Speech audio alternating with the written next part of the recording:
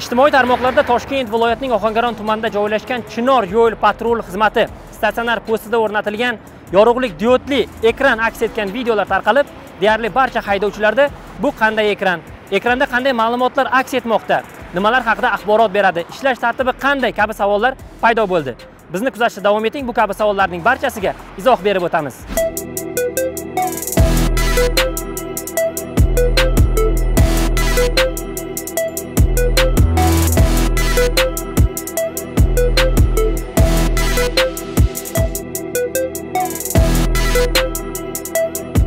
Ikki ming yigirma ikkinchi yil 8 iyul kuni o'zbekiston respublikasi vazirlar mahkamasining yo'l harakati xavfsizligini ta'minlash sohasiga zamonaviy axborot texnologiyalarini keng joriy etish bo'yicha qo'shimcha chora tadbirlar to'g'risidagi uch yuz yetmish yettinchi sonli qaror qabul qilindi. Yo'l patrul xizmati statsionar postlarida zamonaviy axborot kommunikatsiya texnologiyalarini joriy qilish orqali inson omilini cheklagan holda transport vositalarining to'siqsiz harakatlanishini ta'minlash bo'yicha yashil va qizil yo'lak tizimini bosqichma bosqich joriy etilishi belgilandi. Qoidalarga rioya etadigan va huquqbuzarlik sodir etmagan transport vositalari haydovchilari hech qanday cheklovsiz va to'siqlarsiz yashil yo'lakdan harakatlanadi.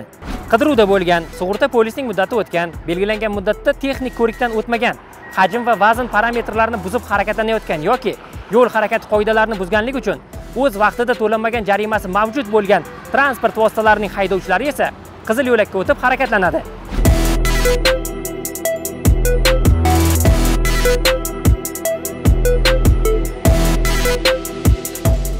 Mazkur qarorga ko'ra 2022 yil 1 dekabrdan boshlab yashil va qizil yo'lak tamoyili toshkent viloyati ohangaron tumanida joylashgan chinor va namangan viloyati pop tumanida joylashgan namangan yo'l patrul xizmati statsionar postlarida hamda belgilangan jadvalga muvofiq bosqichma bosqich respublikadagi qolgan yo'l patrul xizmati statsionar postlarida joriy etilishi belgilandi.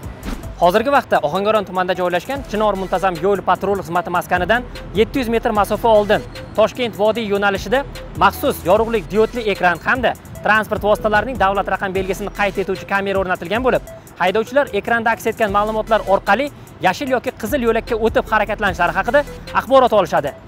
Qizil yo'lakdan harakatlanishi buyurilgan transport vositalari bo'yicha harakat qatnashchilarining hujjatlari elektron ma'lumotlar bazasidan foydalangan holda tekshiriladi. Aniqlangan qarzdorliklar bo'yicha postlarda tashkil etilgan bank terminallari orqali to'lov amalga oshirilgandan so'ng ularga harakatni davom ettirishga ruxsat beriladi. Qarzdorlik to'lanmagan hollarda transport vositalari o'zbekiston respublikasi ma'muriy javobgarlik to'g'risidagi kodeksning 291 moddasi hamda vazirlar mahkamasining 2011 yil 25 maydagi 149 sonli qarori bilan tasdiqlangan nizomga muvofiq maxsus to'xtash joylariga joylashtiriladi. Texnik ko'rikdan o'tmagan sug'urta polisini muddati o'tgan transport vositalari yuzasidan ma'muriy bayonnoma rasmiylashtirilgandan keyin haydovchilarga ketishga ruxsat beriladi.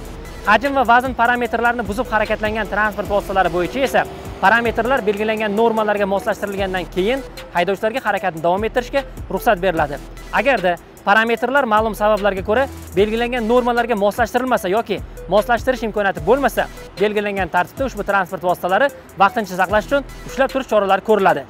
Qidiruvda bo'lgan transport vositalari aniqlanganda ushbu transport vositalari zudlik bilan maxsus to'xtash joylariga joylashtiriladi. Postlarga transport vositasi harakatlanib kelayotgan haydovchilar tegishli axborot belgilari yoki yorug'lik diodli ekranda ko'rsatilgan ma'lumotlarga so'zsiz rioya qilib tegishli yo'lakni egallab harakatlanishlari shart. Postlarda xizmat olib borayotgan yo'l patrul xizmati xodimlari yorug'lik diodli ekranda ko'rsatilgan ma'lumotlar asosida haydovchilar tegishli yo'lakni egallab harakatlanib kelayotgan yoki yo'qligini nazorat qilishadi.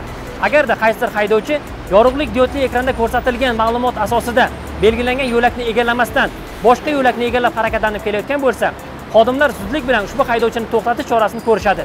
Yana bir bor eslatib o'tamiz yashil va qizil yo'lak tamoyili bo'yicha tizim chinor va namangan yo'l patrul xizmati statsionar postlarida 2022 yil 1 dekabrdan boshlab joriy etiladi.